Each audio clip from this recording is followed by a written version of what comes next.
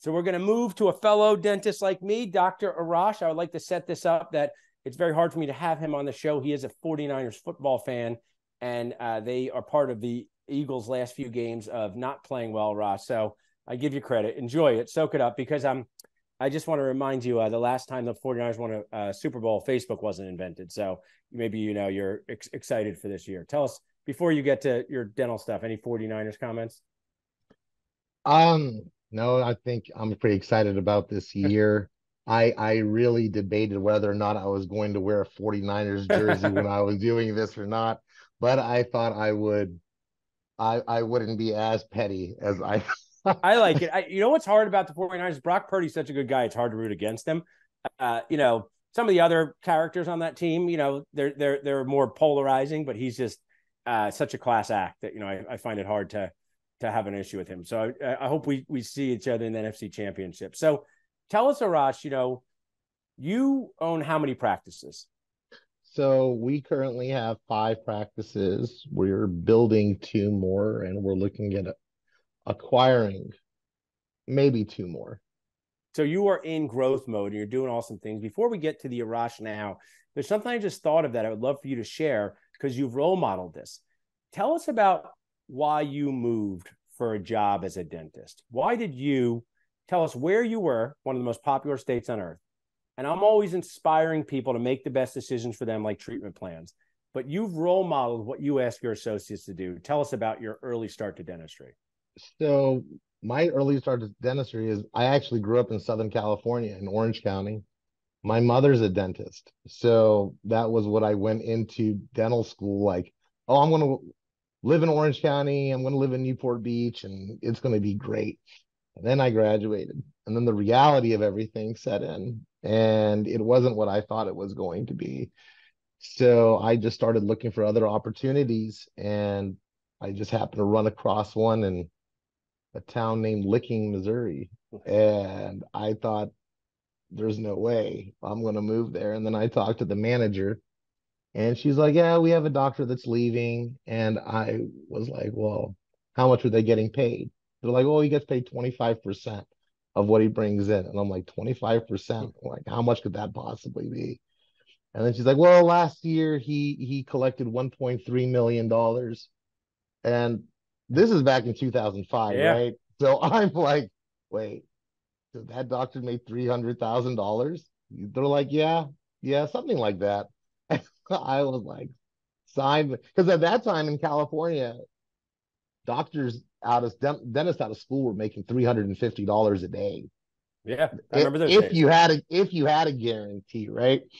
So I I jumped on it, and you know I moved out there and worked for a couple years, and then thought, you know, maybe I'll go back to California and practice what I learned and it didn't work out very well. We hit you the got, financial you got, crisis. You got stuckified there. So um, I think it's really cool that I'm a big fan as a leader of not asking people to, to do things that I'm not willing to do myself.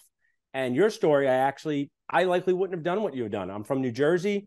I went back to practice with my dad. I'm in Philadelphia, but you're literally asking your associate dentist to test out what you tested out. And I think that's really an awesome share for our community because while it might not be right for some people to move, you now own these practices. Tell us how, whether it's through Dentist Job Connect or other channels, how you encourage, you get case acceptance with associates coming down to work for your group. Well, I will tell you, Dentist Job Connect for us has been a total game changer. Um, I've owned we I've owned Access Dental Services for God, what are we going on? 13 years now, right? And within the last three years, I've probably had more applicants through Dentist Job Connect than I had awesome. in the totality of the 10 years before. Like, I'm not joking. I mean, I think the last nine doctors that we've gotten that we've uh, onboarded or in, on the process of onboarding have all been through uh, the Nachos community and Dentist Job Connect. So it's been great. I appreciate really it. I, I also want to compliment you and your personality type.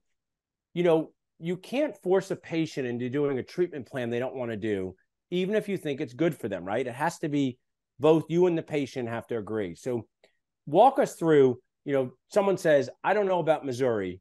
Do they come down there? Do you show them around the office? You know, I obviously I'm proud of everyone that I've gotten to your practice, but Dr. Brandon Labe is one of my favorite people on earth. So, you know, um, he moved from New Jersey, working with you in Missouri. If a practice owner is saying, I'm in a hard to fill area, I got a good practice like Arrash, give them some tips on the interview process or the getting them to be open to moving process.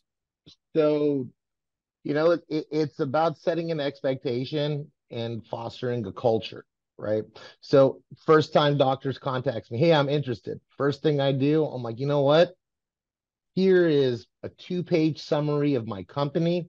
Awesome. Here's what we do. Here is the contract ahead of time, right? So if you have any questions, go ahead and look at it. And then after they do, I schedule a little phone call with them and we talk.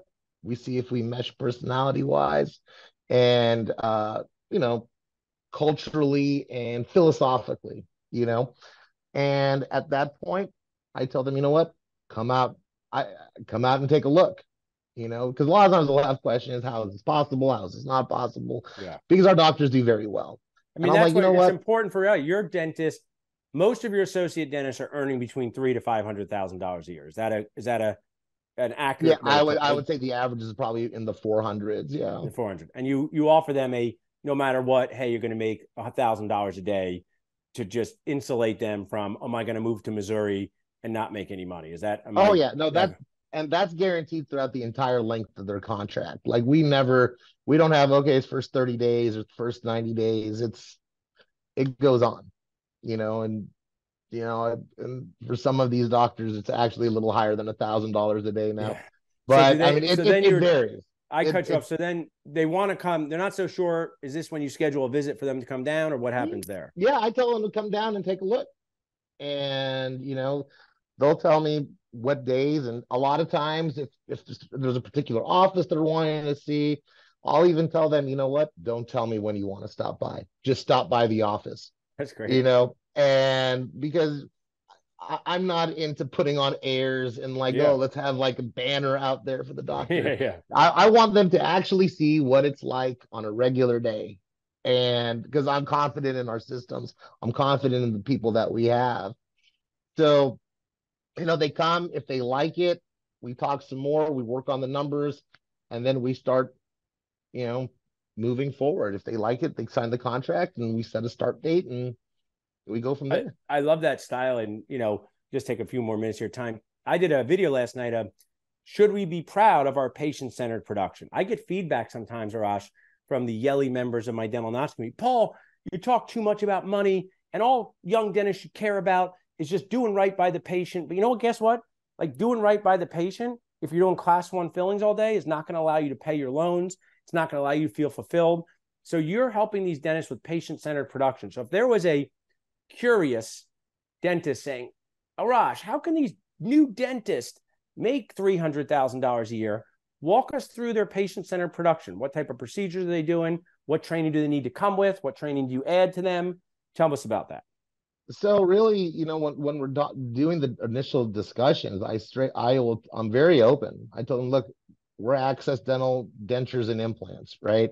We do lots of dentures. We do lots of extractions. We do general dentistry for everybody too.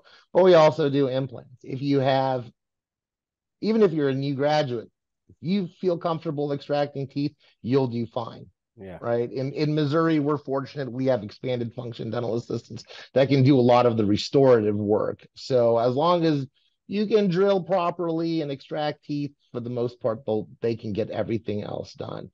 But i do tell them you know if you're if you i've had people call and like well i didn't have a great experience in dental school with extractions. I'm like well then we're probably not the place for you. Yeah. but you know if you if we have an office that has availability for a second associate right and you want to try it out come on in. We'll train you. We'll send yeah. you to CE classes. We'll do whatever it is we need to do to help build you up. You know, one of one of our core values is actually lifelong learning. And we believe that philosophically from the from our assistants all the way up to our doctors. I absolutely love that. I mean, that's why Also, it's cool, different than our generation. They have all these great hands-on CE courses. Some of our sponsors, the Karl Koerner Institute, even if you didn't get a good experience with extraction, you extractions, you literally, for what I believe is very reasonable amounts of money, can go and learn this in a supportive way and then bring that training to you. And I'm sure when you have their back, you can help them like in game with it. We've sent we've sent doctors to his courses yeah. actually. So yeah. I didn't I I actually didn't remember know remember that he was a sponsor that that he was in the nachos thing, but I've I've I've heard a lot of good things about him, and we, yeah. we've sent doctors there, so that's that's he's great. a kindred spirit. I just tell a quick story about him because I admire him so much, and I've so you know I'm you know I'm into live streaming stuff and on demand things. 2004, I was with my dad at the Greater New York Dental Meeting. Okay, and he was live streaming an extraction from his office in Utah to us in New York. And I mean, wow. that was just brilliant, right? Nobody was doing that. He was saying, Hey, I'm not just going to show you a presentation on how to take out a tooth. I'm going to show you live from Utah. So he's awesome. Now, my last part here, Raj, uh, be careful how you answer some of these questions, but uh, could you tell us about your experience when you came to Philadelphia for the Dental Nacho C event? Oh, I loved it. You loved it. Was, mean, food, was food was great. Food was fantastic. So everything in Philly, actually, I love Philly. Okay, like I'm not, I'm not. I give people a hard time on the football, but the nachos event was amazing. The food was great. The location is right next to Rittenhouse Park. Yeah, and you did you did something morning. you did something that I encourage more people to do. And I'm going to kindly annoy people who are not doing this. You brought two of your associates with you, or one of your associates with you. Mm-hmm. What was the value as a practice owner to go to an event with one of your associates, besides the bonding you do, besides the fun? But how does that maybe help showcase your organization to younger dentists when you have one of your associates there? You know, I didn't really take it, I didn't look at it from that perspective, Paul. I I brought my associate over because I wanted him to come and see what I do. Yeah. Right. To see like this is this is, you know, he's interested in buying in and he wants to get ownership. So I'm like, yeah, this is what it's this is what it takes, right? This is my team, this management team. Come learn. You know, I think it'd be great. But on the flip side, it was great because other associates got to talk to him. I think you got to talk to him and actually, yeah. you know, get to know him. I did. Well. He's great. I mean, he's amazing. And also, it's positive unintended consequences because we're weird old medium age people. So even if we say come work at our office, when we have one of our associates there, they just tell the story just like a before and after of an implant case. So even though yeah. someone may intellectually believe us that we have a great practice, which we do, it's magical when you have an example of somebody walking around having food talking. So more people yeah it's, it's like you don't have to believe me. Ask any of my associates. You know then, uh, like what yeah, yeah, when when when we have doctors that are like oh can i talk to somebody? I'm like who do you want to talk to? I don't care. Here's the list of all their phone numbers. They're all fine with anybody call. even doctors that we have that were leaving i'll be like yeah give him a call. They're like but, but he's leaving. I'm like that's what he's not he's not leaving on bad terms and I think that's that just shows you're genuine, right? Because it's got to be the right fit for them. And talk to people about why they move on. They might move on to buy a practice. They might move on because their family moves. Well, you've shared so much here, Ross. People can text Springfield at 215 798 9897 to learn and more and apply for your job. And I just want to share it's no problem if you don't come to the April event. It's no big deal. I will just give the next Brandon Labe to the Eagles team dentist. Okay. So if you're not there, no problem.